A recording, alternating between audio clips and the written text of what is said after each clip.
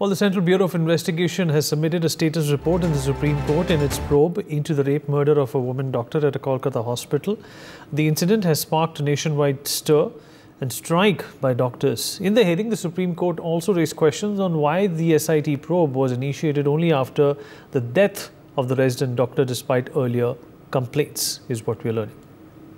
Brian, my colleague, still with us on the broadcast. Of course, Brian, this time the Supreme Court also observing why was there a delay in uh, the SIT probe? Well, definitely, Vineet. Like I said also earlier, the Calcutta High Court also questioned why was there a delay in the SIT probe into the former RG Kar College and Medical uh, Hospital Principal Dr. Sandeep Ghosh, and it was only initiated after the rape murder incident of the resident doctor, and now which consisted of the single bench Rajarshi Bhardwaj also.